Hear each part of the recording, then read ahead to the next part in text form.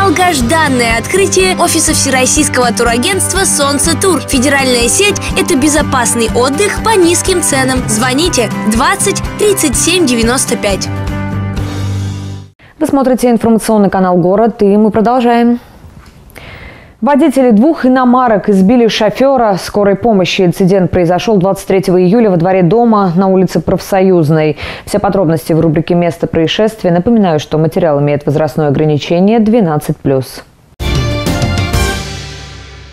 23 июля вечером во дворе дома на улице Профсоюзной двое мужчин избили водителя скорой помощи. По словам очевидцев, машина медиков перекрыла въезд во двор. Водителю Рено Дастер и шоферу красной иномарки это не понравилось, хотя со двора есть другой выезд. Оба с кулаками накинулись на водителя скорой помощи, буквально вырубили его. Позже мужчина пришел в себя. После проверки МВД Следственный комитет будет выяснять обстоятельства произошедшего.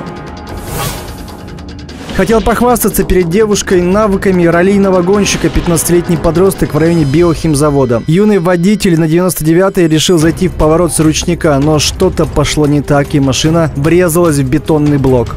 Кто за рулем был? Рук был. Ушел? Хорошо. Тима, зачем вам такая большая палка? Битый бейсбол. Бейсболист? Бой. Ну. Ну он никого не шиб. Что было-то? Нет, ну и что?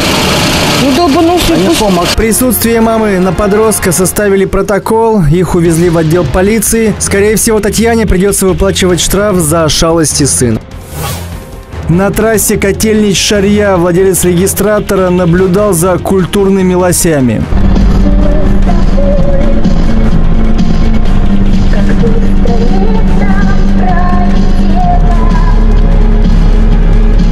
На повторе видно, лосиха с лосенком убедились, что водитель их пропускает и перешли дорогу.